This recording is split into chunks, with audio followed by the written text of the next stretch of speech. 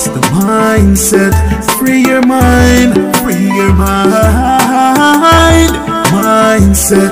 Free your mind, free your mind. Hey, not everything that glitter is gold. Not everything that's white is snow. On the mindset, I just start let them know, let them know, let them know. Oh, words from the wise. I just start, we will never lie.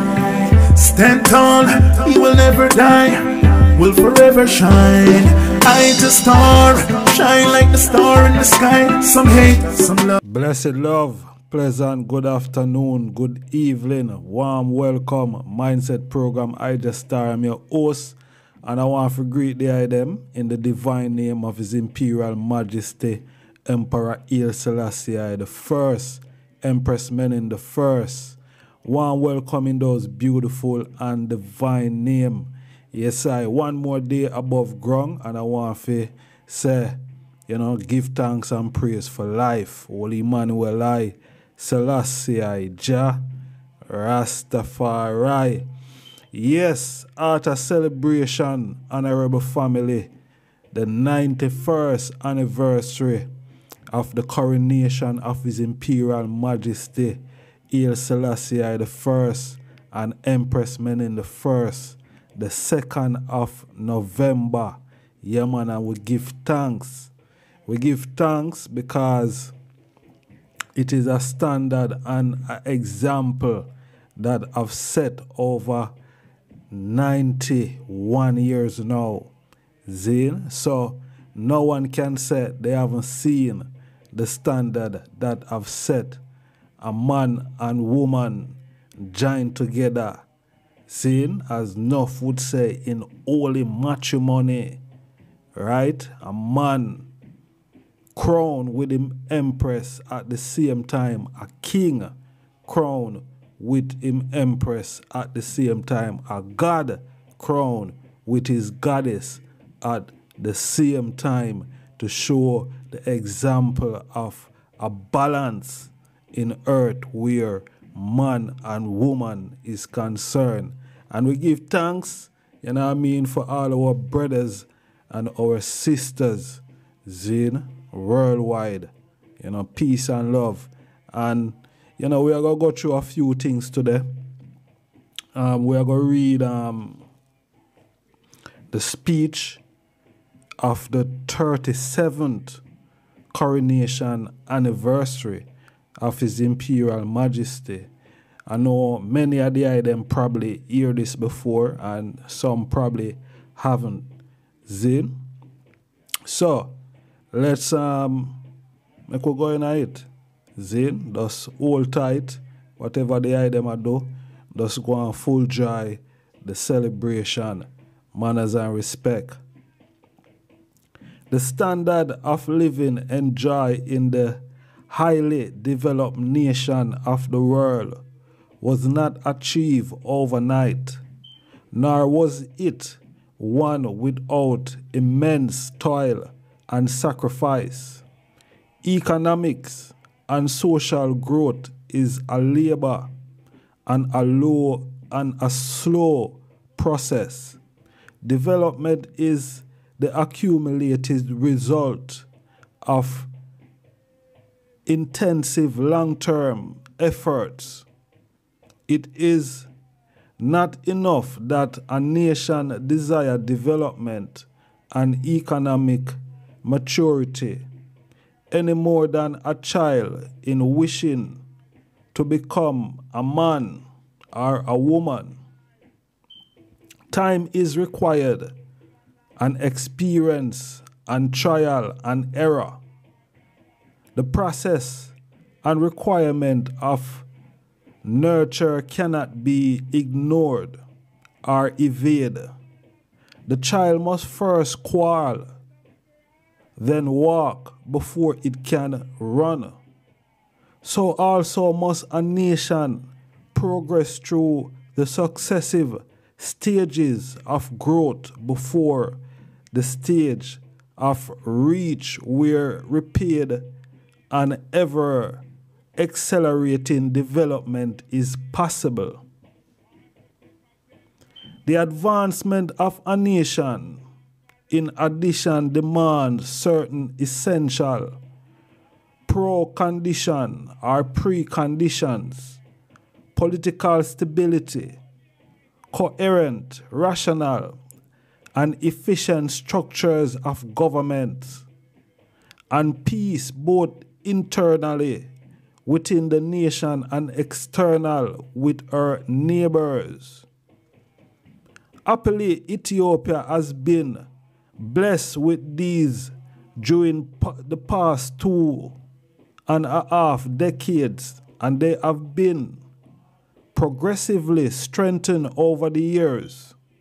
In 1955, we promulgated our revised constitution to reflect and to secure the advance in the political maturity achieved since we granted Ethiopia first written constitution within 25 years earlier. Only the enlightened, only the only the 18 only 18 months ago we announced new and far-reaching political reform as the accumulation of a period of development and maturation of the polit- political awareness capacity of the Ethiopian people and government and as the prelude to further growth along these lines, the precious gift of peace has been ours for the past quarter century. For all of this, we give thanks to the Almighty God. 4th of November 1967 a speech from His Majesty Emperor Haile Selassie the First. Yes, the Emperor of Ethiopia. Peace, and we see a lot of things that is happening in Ethiopia right now, but that won't stop the celebration. The celebration must go on yeah, the celebration must go on. So, as we're looking at the coronation, I give thanks for November 2nd, 1930, as a constant reminder of the greatness and levity of Emperor Haile Selassie I. Negus Makonnen, a man who fight or fought all odds to claim a seat of power that he know was destined to be his, no matter the social accepted order of succession. The throne of Ethiopia was not just handed to him because he was there or here. It was an honor bestowed upon him because of his tenacity and a wise mind to do what was necessary to endure and to ensure it would become his. That that is the first lesson I and I can learn about the coronation.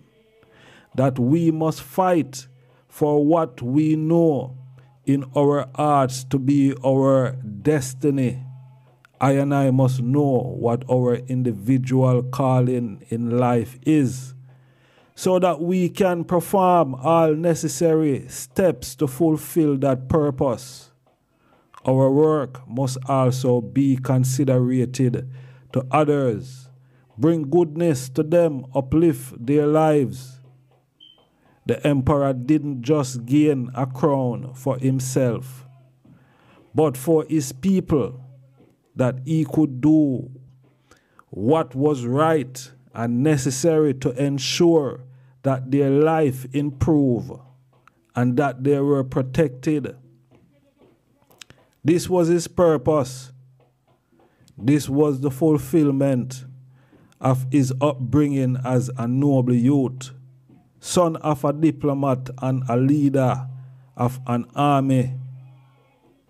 The second lesson we can learn, my people, I and I can learn from the coronation is to stand tall in the presence of our enemy, to treat our enemies with respect and to show them our worth even if they will not like it. The emperor was crowned in front of 12 nations or 72 nations from around the world, namely Europe. It was well aware of the racist attitude they had towards His Imperial Majesty Haile Selassie, especially Great Britain, ruled under King George V, but that did not differ. Ascended a throne more ancient than theirs, in a country more powerful than theirs even if a few days, he forced them to respect the African nation in the independence, which was a thing most hated by the Europeans. I and I must learn to shine. Even when others cast net of darkness, I and I must see. Yeah, I and I must see competition as a tool to strengthen ourselves for success. That out there. I and I must use adversaries to better ourself, our condition. Yeah man. The third lesson is the importance of unity between husband and wife. This is very important kings and queen, the empress. Menen Asfaw was joined to her husband, the emperor. And that day, 86 years ago, 91 years ago, this was the first time in Ethiopian history that an empress consort shared the coronation ceremony of an emperor. Empress Menen anointment as a queen was granted by the Ethiopian Tewahedo Orthodox Church. The request of her husband, she took a vow to serve her nation, to be a guide and help unto the realm and her king. She did not merely gain a crown and high position that would move her into the most, would move her into a place of an emperor, Menelik II, but to took an advance announcement responsibility to share the emperor's works. There must be balance and equality. All aspect of a marriage, a wife is not there just to adorn her husband. She is there to uplift and to improve him as as he handle all the responsibilities and burden that come with is better when there is let me just repeat that. A wife is not there just to adorn her husband. She is there to uplift and to improve as he handle all the responsibility and burden that comes with his position in life as a man and vice versa as well. Naturally there cannot be no one without the other. Life is created together as one. Is beautiful and a thing of power and fruitfulness. Selah, Selassie, Jah, Rastafari, bless and sanctify, sanctify and bless. Yes, honorable family, we give thanks. Yeah, we give thanks. Eh, the celebration going through said way. Seeing? Yeah, we give thanks for the coronation, the 91st coronation of His Imperial Majesty, Emperor Haile Selassie I. And as we see upon a lot of pictures, we see a whole heap of people from all over the world come and acknowledge, and not just acknowledging that this man is the King of Kings and that woman is the Queen of Queens. They also bowed before them, bowed before them what level of respect that is that people people who would normally look down on Africans is bowing before an African king and queen. Queen of England bowing before an African king and queen.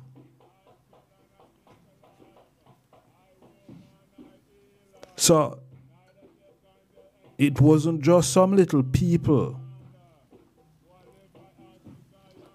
It was it wasn't just some little primitive people that was bowing to this man or acknowledging that this man there is something special about this man. Saying is something special about this day, the 2nd of November 1930. Saying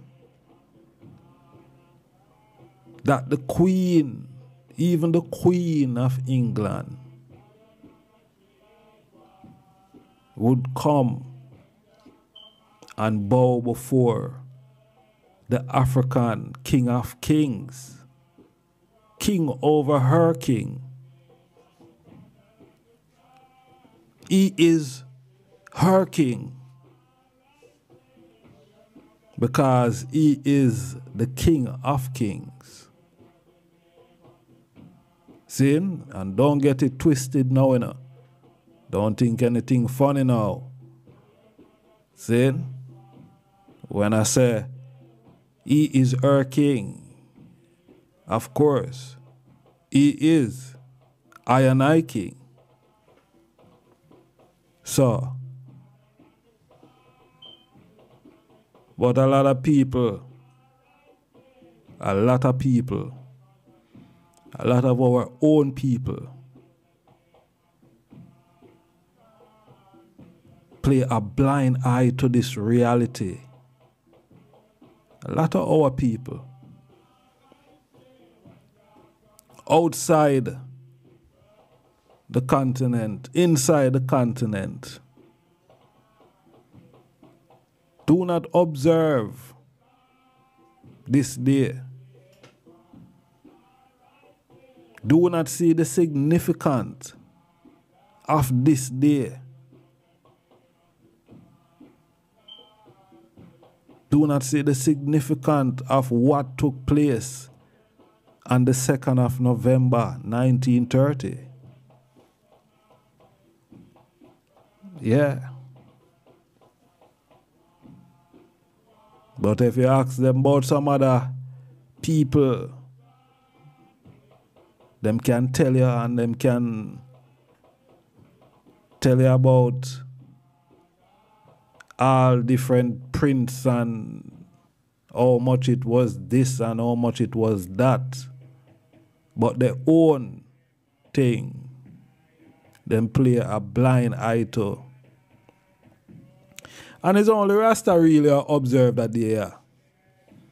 See, it's only Rasta. Rasta people are observe the 2nd of November 1930. Only Rasta do it. Ethiopians them not do it. The Ethiopians them not doing it. See? Only Rasta. See?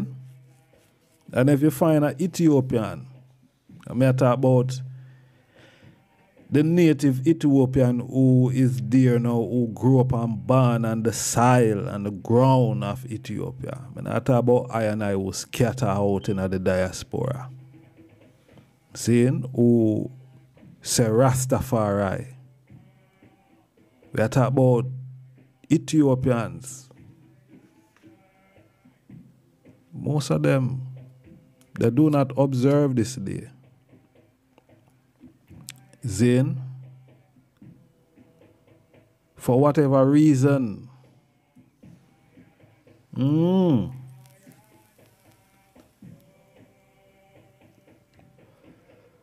but we steadfast and we hold firm and we keep the faith. Because I and I, we know the significance of this day. I and I, we know the significance of this day. This day probably mean more to us than anyone else. Because the significance of 1930, the 2nd of November, is aligned with a thing Marcus Garvey said, a speech Marcus Garvey made. Yeah. That a king would crown. In the east of Africa, in Ethiopia. See? Yeah. And it would be the Redeemer and the God of I and I, black Ethiopian people.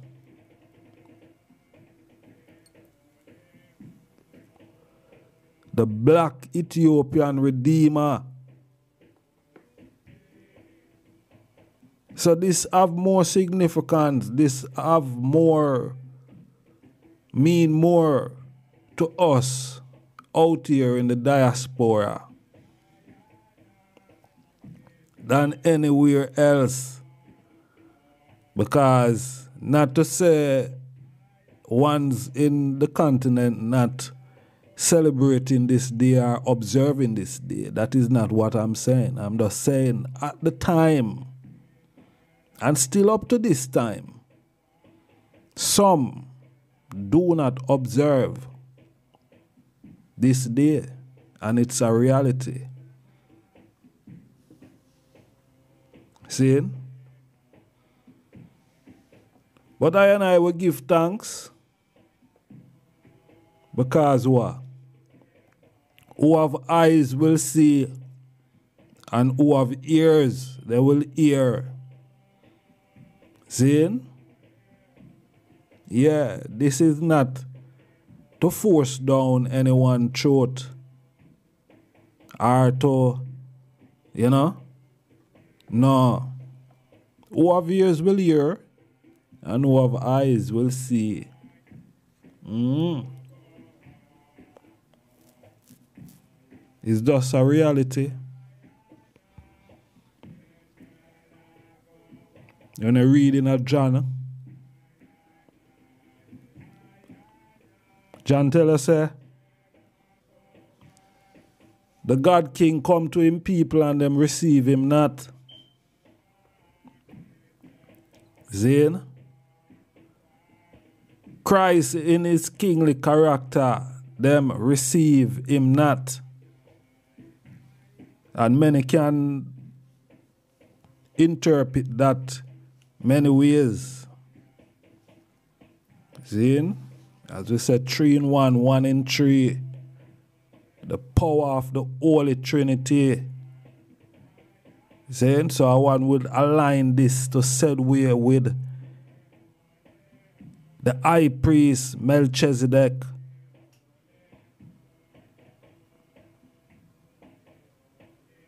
The God priest. Yeah. The king priest. Come to him own and them receive him not. Receive him not. See? So I never everyone did I go accept. But there will come a time, and there have been that time. And that time have been recorded that every knee shall bow and confess. Yes, 1930. See all the nations of the earth, 72 of them, bow and confess that Haile Selassie is the King of Kings and Lord of Lords. You know, the conquering lion of the tribe of Judah, elect of God, light of this world.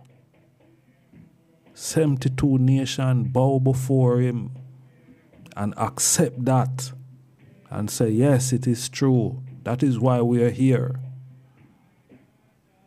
Because that is the truth. That is the truth. So, my beautiful people, know yourself, you know. Know yourself. Everyone have to find their own vine and victory. Saying, Marcus also pointed out that everyone, everyone have to see God through their own spectacle. Everyone. See? So, my people, know yourself. Because everyone have a God and a king. And every God and king have a place. Sin? Yeah. So know yourself and know where your place is. Because everyone to find their own vine and victory. Holy Emmanuel I, Selassie I, Jah, Rastafari, bless and sanctify, sanctify and bless.